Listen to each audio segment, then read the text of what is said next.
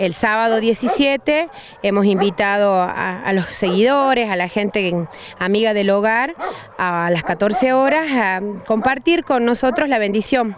Eh, tenemos muchas instalaciones nuevas, gracias a Dios, y como siempre, todos los años, este, siempre pedimos este, que Diosito nos siga bendiciendo, porque como nos, nos regala tantas cosas, hay que devolvérselo que sea con gracias.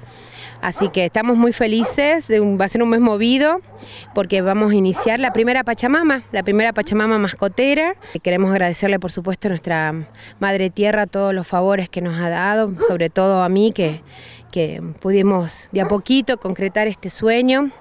Nunca me imaginé tener 500 hijos, pero bueno, ya estamos. Está todo el mundo invitado, va a ser a las 16 horas, justo acá en la emplanada que estaremos al lado de la nueva pared, que ya espero para esa época esté terminadita.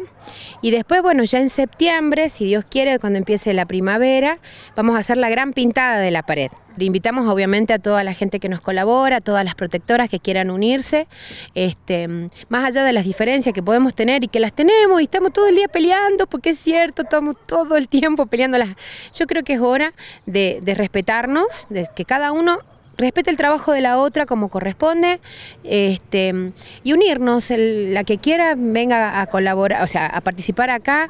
Es un agradecimiento que le vamos a hacer a nuestra Madre Tierra por tantas bendiciones, porque creo que todos tenemos la bendición de, la, de nuestra querida tierra, eh, dándonosle justamente la oportunidad de poder salvar a sus miembros.